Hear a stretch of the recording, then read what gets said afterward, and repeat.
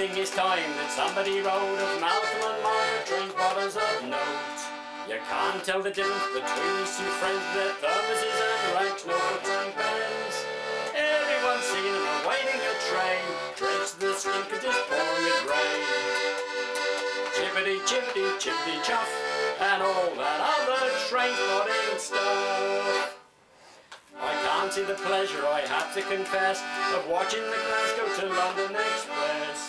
But Malcolm and Margaret are in quite a state, cause the train I just mentioned is running so late. It was due in at midnight, or where can it be? The station is cold and it's 20 past three.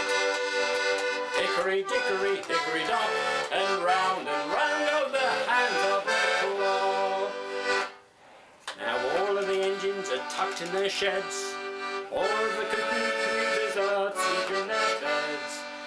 Malcolm and Margaret, both anorak clad, stand on the platform dejected and sad. They huddle together to keep out the cold. Then Malcolm starts getting incredibly cold.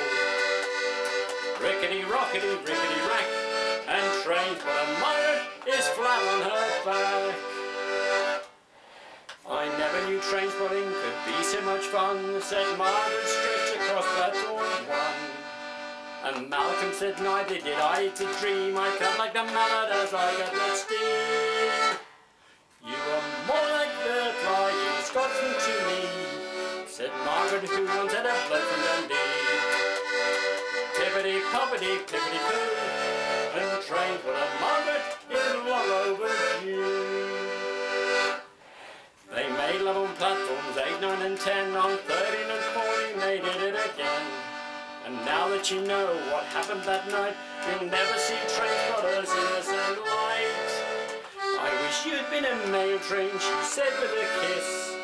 A letter from France would have not gonna miss Chippity choppity chippity chop No more this smutty train